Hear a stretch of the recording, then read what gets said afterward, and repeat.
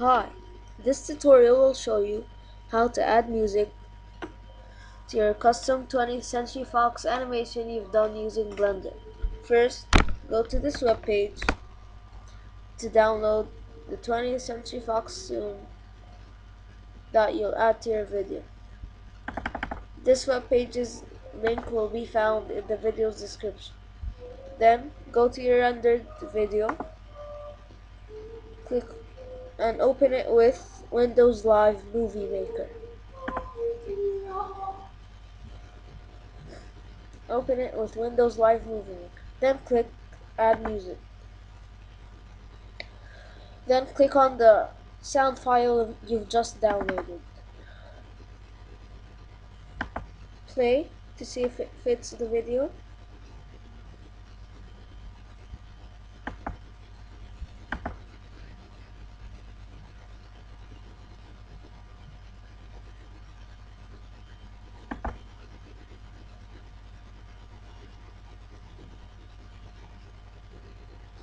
As you can see not the whole sound is covered in the video. So you have to split a part, a part of it. To do that go, go to the music tools then click split. Click on that part and press delete on your keyboard. Then try again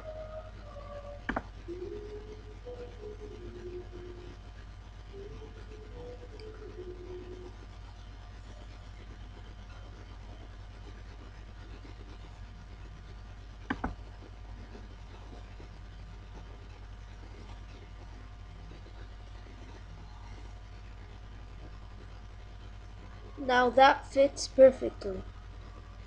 Now all you need to do is is go to the, to home and save on whatever resolution you want. Click on for example HD 1080p and save on the desktop for example. Save. When it's complete it'll look like when it's complete it'll look like this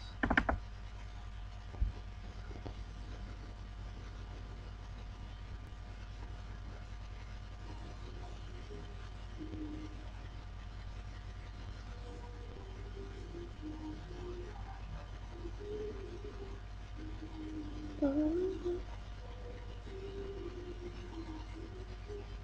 Thank you for watching my video.